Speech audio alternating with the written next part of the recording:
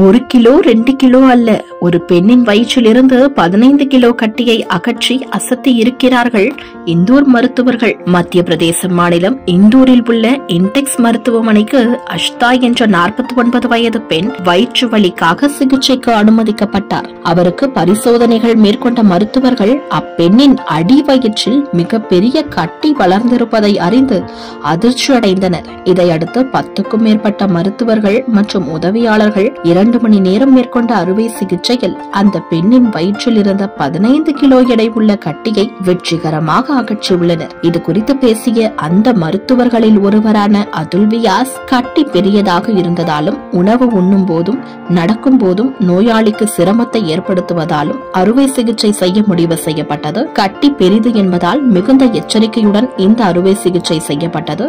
பல நரம்புகள் மீது கட்டி பரவி இருந்தது அறுவை சிகிச்சையில் சிறு தவறு நேர்ந்தாலும் அது உயிருக்கே ஆபத்தாக முடிந்துவிடும். எனவே மருத்துவர்கள் மிகவும் நுட்பமாக செயல்பட வேண்டியிருந்தது.